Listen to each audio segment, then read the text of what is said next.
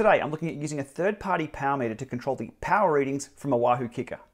Last week over on dcrainmaker.com comment section, I spotted a question by Luke D. Luke asked, if you're using a third-party power meter on your bike as your power source whilst using a smart trainer, how important is it that your smart trainer is accurate and spun down? And do you need to worry about calibration of your smart trainer? Very, very good question. Today, I've run three tests to answer that question. Let's look into it.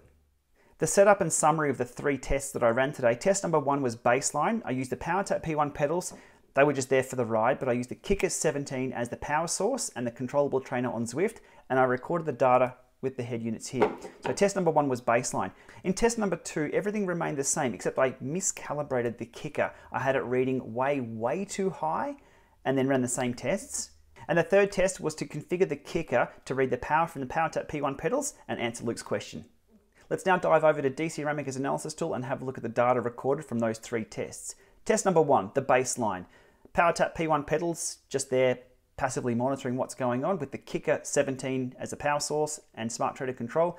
Ticking along there at 200 watts, give or take a few watts. Happy days at 200, similar happy days at 250, and into some 20 second over and unders. The only thing I can really pick out from there with the power PowerTap P1 pedals up against the KICKR is probably around the 450 watt mark. Things get a bit ugly for those 20 seconds, but that's all looking pretty good.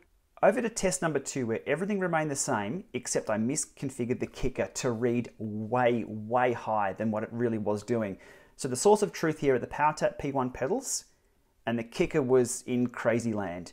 This replicated a KICKR that hadn't been spun down or a smart trainer that hadn't been configured or calibrated or spun. It's just a wildly inaccurate smart trainer power source with a more accurate actual power source here. So what we're seeing is Zwift still thinks the KICKR is the source of truth. It's not.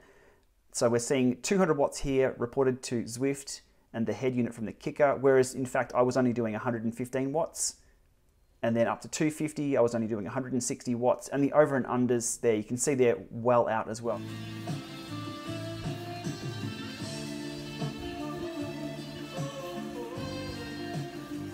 Everything tracks perfectly but it's inaccurate. The KICKR was purposely, on purpose, misconfigured to read well high.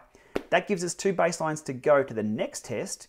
Prior to test number three, I loaded up the Wahoo Fitness app on the iPhone, connected to the KICKR configuration, selected control with an Ant Plus power meter. I entered the Ant Plus ID of the PowerTap P1 pedals, 59249. Hit save on that. After that, I jump back over to Zwift to make sure I was still paired to the KICKR as the power source and the controllable trainer, remembering it hadn't been spun down again, so it was wildly inaccurate itself.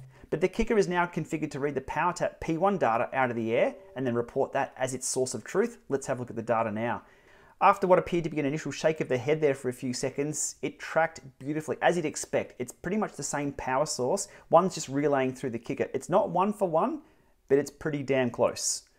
So 200 watts, 250 watts, and then overs and unders, and exactly what we were seeing with test number one, the 450 watt range gets a bit messy. So if I just flip back between test number one and test number two, test number one, test number two, all looks pretty good. So to answer Luke's question, in this instance, no, it doesn't really matter if your smart trainer is wildly inaccurate. If you've got a source of truth, another power meter, paired to that smart trainer, it's happy days. You will still have to ensure though that you do a zero offset or a calibration of your power source to make sure it's reading correctly. Um, this may only take a few seconds though, rather than the 10 minute warm up and 30 seconds or so to do a spin down on a smart trainer. So time saved. Response time in erg mode as well, changing erg mode from 150 watts to 300, 150 to 400, no difference whatsoever in both the modes that I was in there. So there's no lag whatsoever that I encountered. Happy days. A side note on this, this is effectively power matching, just done a different way, directly via the KICKR. We'll leave it there for today. Thanks to Luke for posting the question and uh, giving me a good workout to look into this. And now I'm off to recalibrate that KICKR again to get it back into line. Those readings were wild. Okay, thanks for watching.